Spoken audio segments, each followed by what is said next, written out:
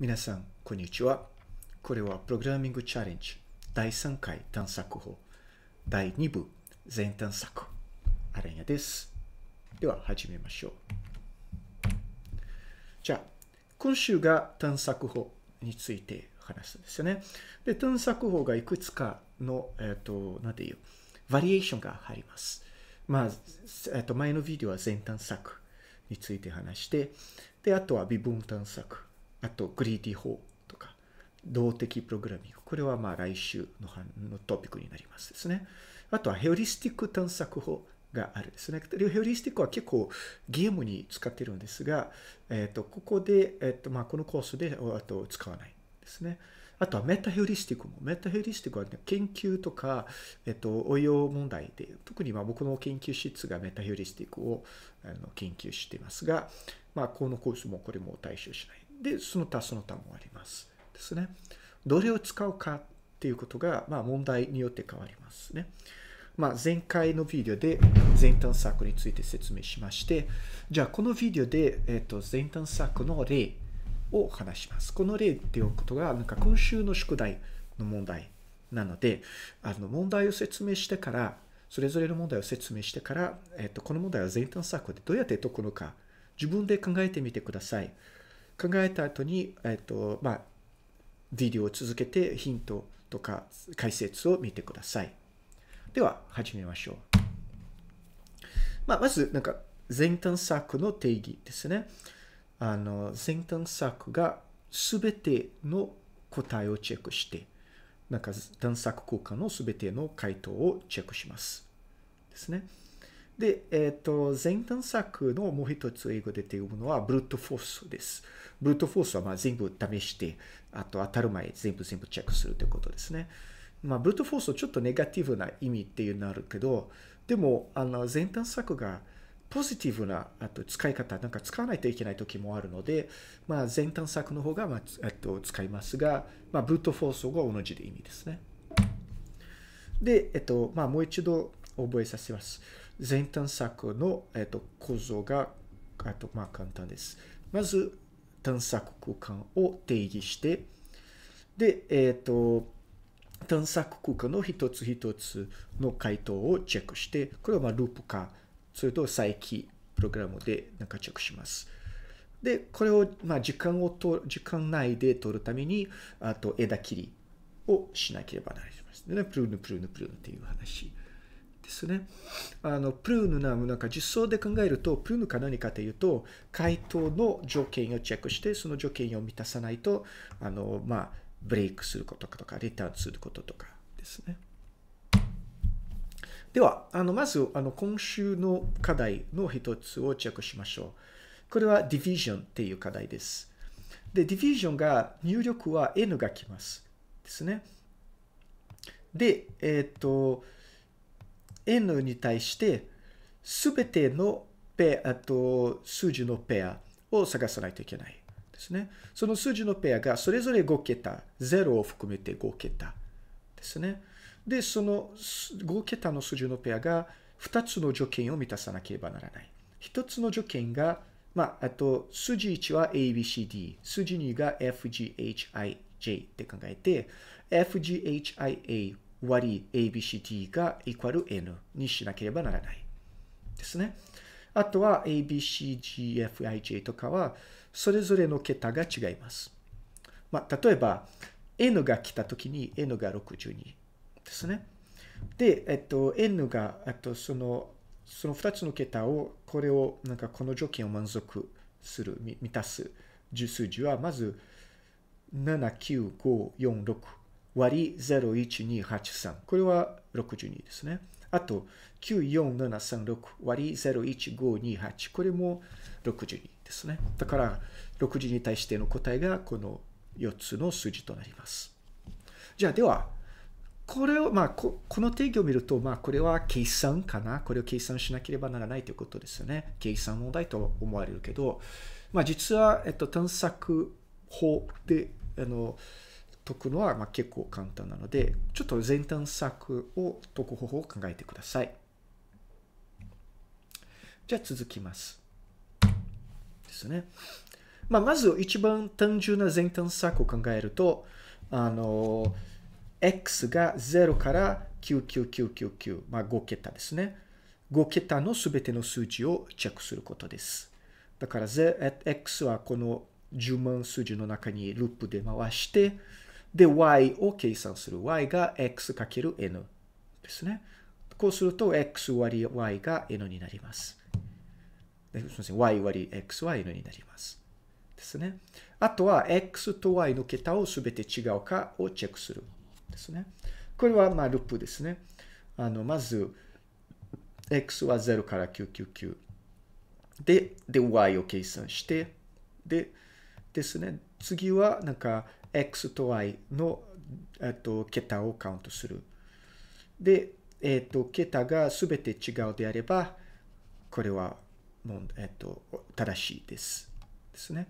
このカウントディジットが、えっと、こういうな関数なので、まあ、結構面白い関数なんですけど、x と y に対して、あの、まあ、10桁のストリングにして、1、あと、例えば、2番目の文字が、えっと、2が入ってるなら0。2が入ってないと0、2が入ってる1ですね。こんな感じでやります。これをちょっと解説してください。これは結構きかわいな関数なので、ぜひあの解説してください。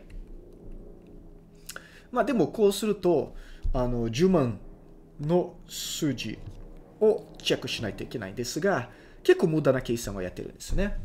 もう少し枝切りしてみましょう。ね。あの、なぜかというと、このループの中に絶対回答にならない数字がいくつかが入ってます。ですね。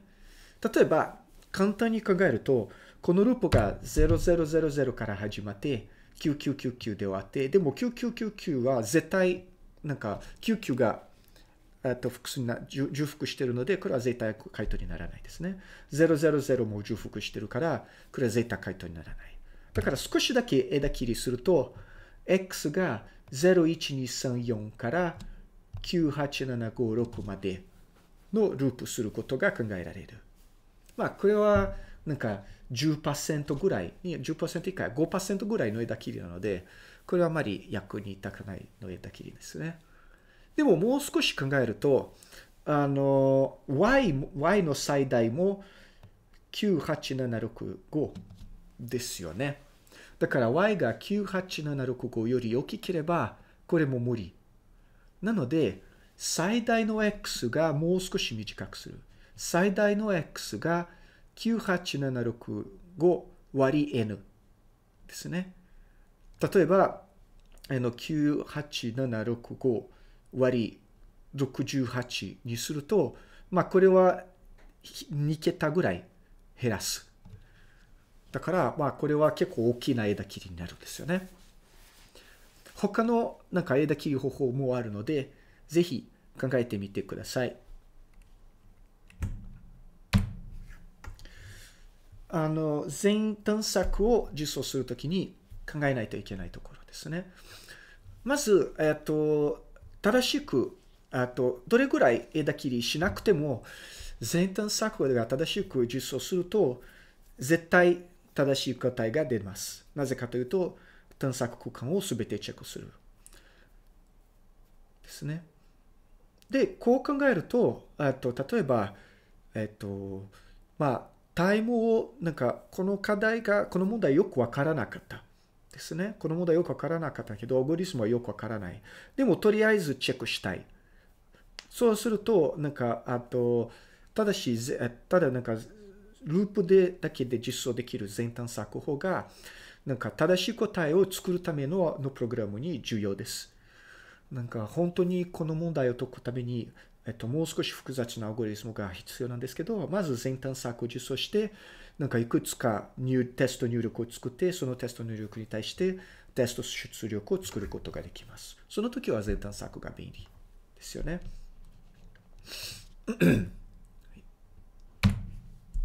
じゃあもう一つの、えっと、全探索、この今週の全探索の例を見てみましょう。これは、あの、宿題の問題の中の Simple Equations です。じゃあ、Simple Equations を解説すると、Simple Equations の入力が ABC の3つの数字です。で、ABC が、えっと、0から1万、えっとですね、1から1万の間になります。で、ABC に対して XYZ を見つけないといけない。で、XYZ がこの3つの条件を満たす必要があります。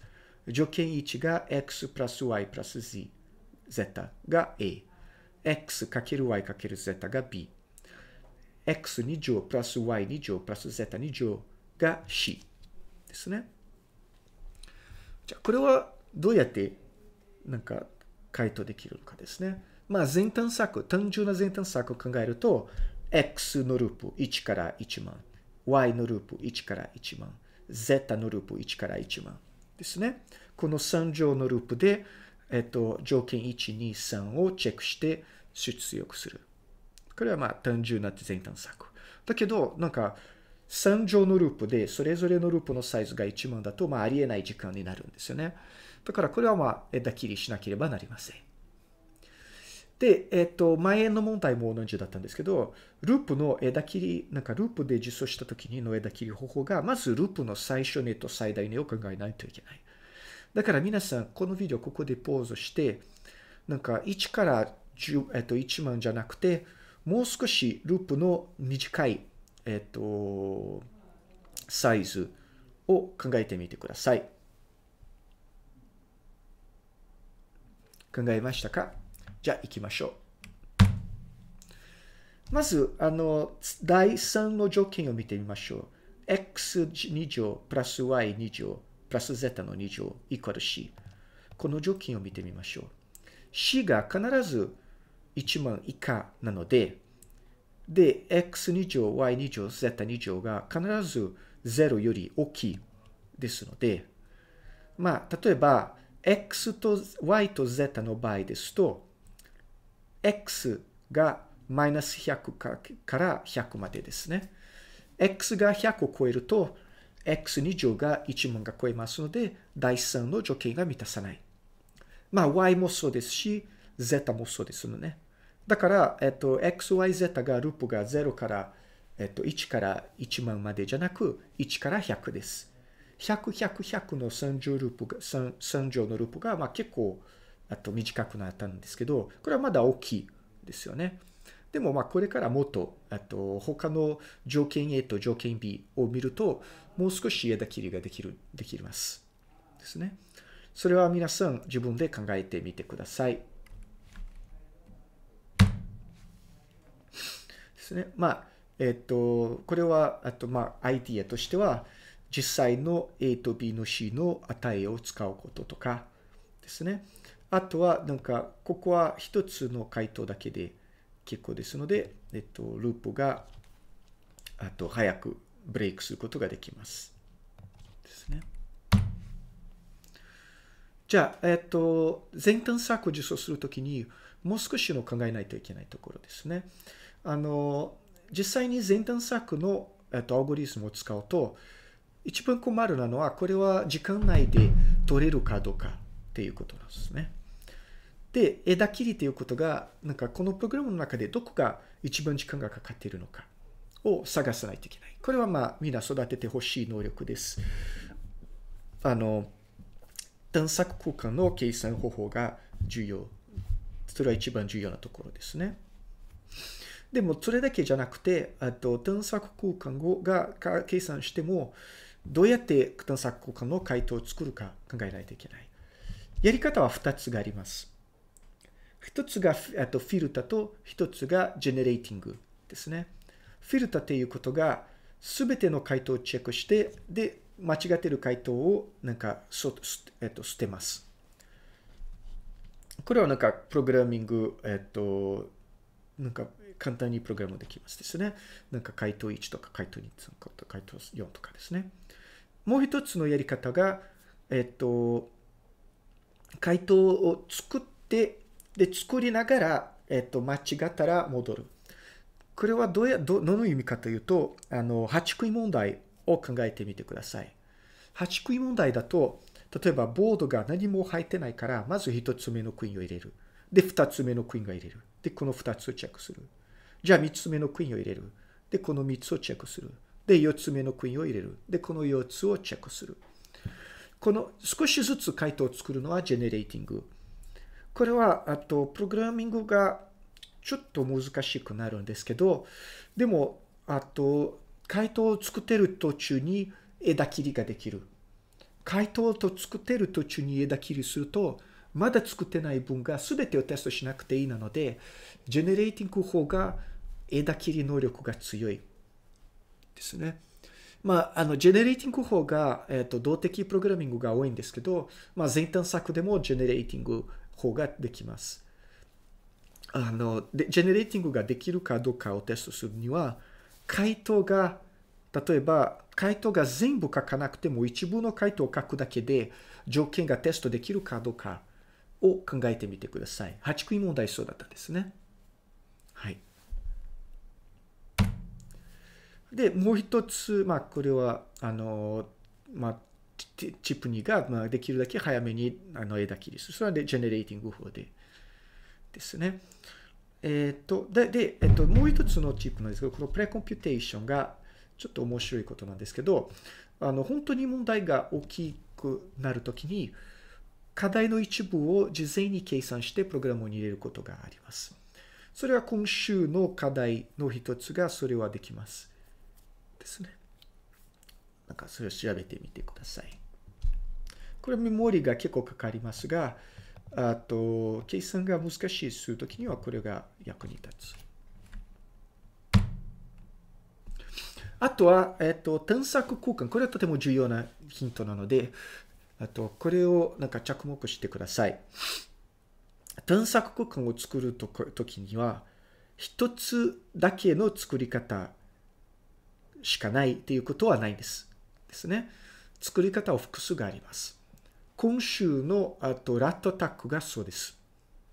ラットアタックの課題が、えっと、100えっと、1024×1024 の街の中で、ネズミが2万がいます。それぞれのネズミが違うところにいるんですよね。まあ同じところに2つのネズミがいるかもしれないけど、入力が、まあこのネズミが1、2、このネズミが3、4、このネズミが1、2、このネズミが2、4とかですね。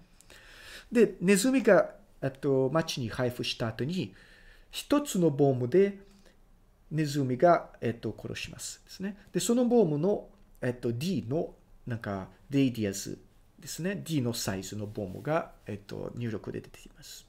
D が50以内です。で、この問題の目的が、町行列の中に、このボムはどこが置けば、一番あと多くネズミを、えっ、と、まあ、殺すことができるかっていうことですね。で、これはね、なんか、あの、単純な考え方ですね。なんか、直接の考え方、当たり前そうな考え方が、えっ、ー、と、町のそれぞれのマス、00のマス、01のマス、02のマス、それぞれのマスに対して、あの、ボムが置いてみることですね。じゃあ、ボムが00に置けば、どれぐらいのネズミを捕まるか。ボムが01に置けば、どれぐらい捕まるか。ボムが55、56とかに置けばってことですね。で、そうすると、どれぐらいがかかるんですね。そのぐらい。これはまあもちろん、ボムが全ての町に置くから、えっと、1024の2乗です。で、それぞれにチェックする、なんか、それぞれのマスに置くだけじゃなくて、ボムが、なんか、どれぐらいネズミを捕まえる計算するために、D の2乗がかかります。ですね。だから、ここの、なんか、コストが1000の2乗かける50の2乗。だから、これは2の10の10乗ぐらいです。相当大きいです。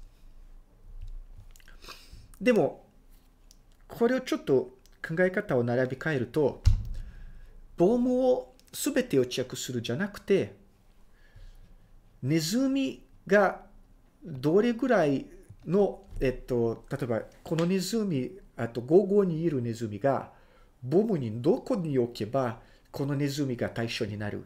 を計算する方。それはね、なんかボム中心じゃなくてネズミ中心。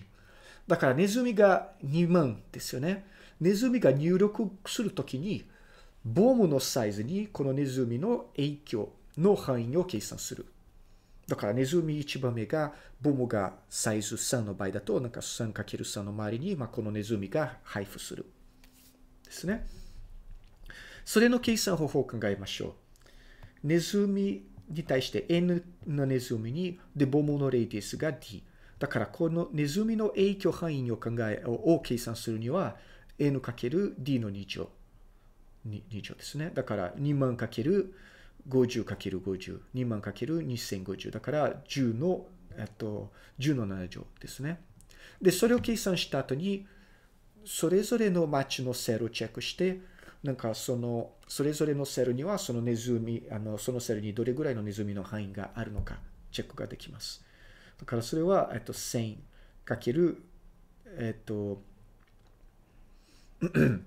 えまあ、1000、えっと、1000の、1000かける1000なので、これは、あと、10の7乗プラス10の6乗。だから、これと、なんか、最初の方法と比べて、100分の1ぐらいのコストです。だからなんか町中心、ボム中心の計算じゃなくてネズミ中心にするととても短い。なので、あと、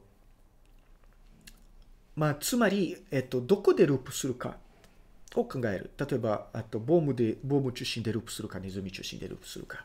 そうすると、ボーム中心の探索空間のサイズを計算する。ループえっと、ネズミ中心の探索空間のサイズを計算すると。それによっては、なんか問題のコストが変わります。ぜひ、あの、今週の課題を回答するときにそれを考えてみてください。では、えっと、今度は、なんか、あと、で、あと、微分探索とグリーディ法についてを勉強します。